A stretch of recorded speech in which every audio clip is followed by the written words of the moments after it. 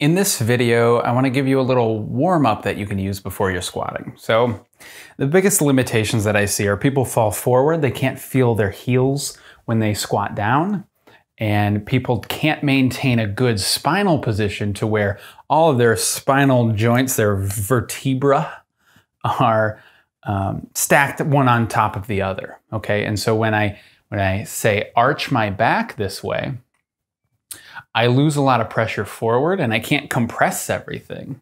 Or if I'm squatting down and my chest caves, same kind of thing happens, right? I lose the pressure this way.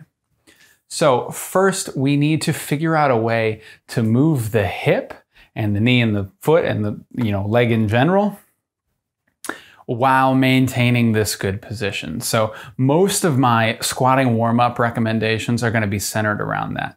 First one I wanna give you here is an inchworm. So we're gonna, I'm gonna start back here and we're just gonna reach down, kind of touch your toes. If you're not as flexible as me, that's okay. You're just gonna walk out. Hands are flat, heels are down as long as we can. And I'm just gonna keep reaching till my feet start sliding too far and then I'm gonna push myself away from the ground, keep my hips tucked like this. Now I can feel my abs a little bit better. And I'm gonna hang on to those abs while I come back up. It's kind of hard to talk while I do this. And then see if I can get my heels back down. If you can't, eventually, as you work on it, you'll be able to get there. But same idea.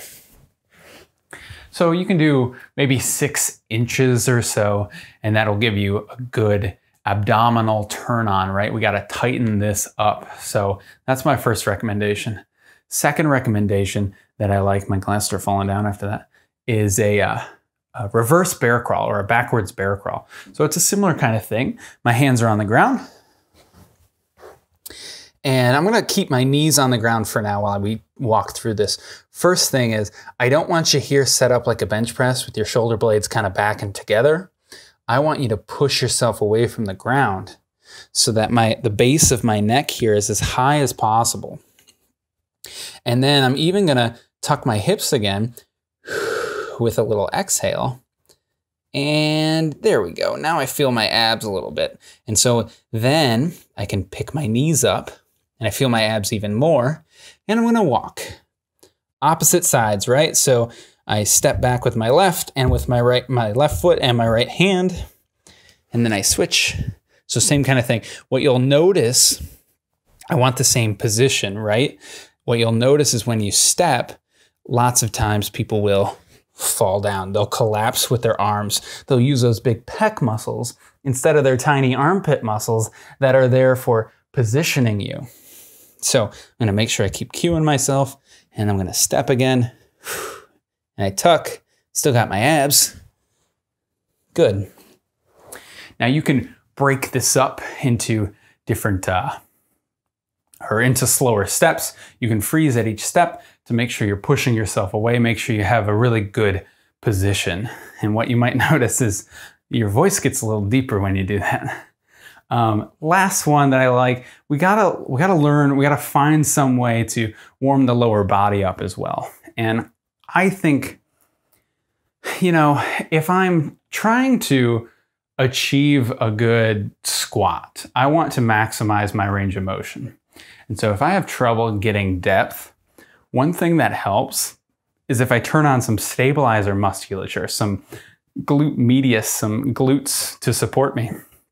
And so my favorite one here for the lower body is a walking lunge, but I'm gonna turn into the front leg.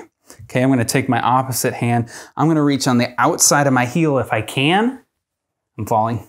I'm reach on the outside of my heel if I can. If I can't, I can come down to the front of my ankle. And if I really can't, I can come down to the middle of my shin. Those are three levels for you to sh shoot for, but the last one here is the best one. So what that does, turns me into the front hip, keeps me secure in that hip so that I'm using more of that musculature and I'm getting a, a good position of my pelvic floor muscles. Okay, I come up like this, not like this, right? I come up like this, I'm pushing deliberately through the ground and I step for my next step and I turn again and I can even take a breath out, hold it, and then come up. Okay, so those are three for you to try. The inchworm, the backwards bear crawl, and then the walking lunge. And after that, you wanna make sure you get to your barbell and you do some barbell warm-ups and good luck.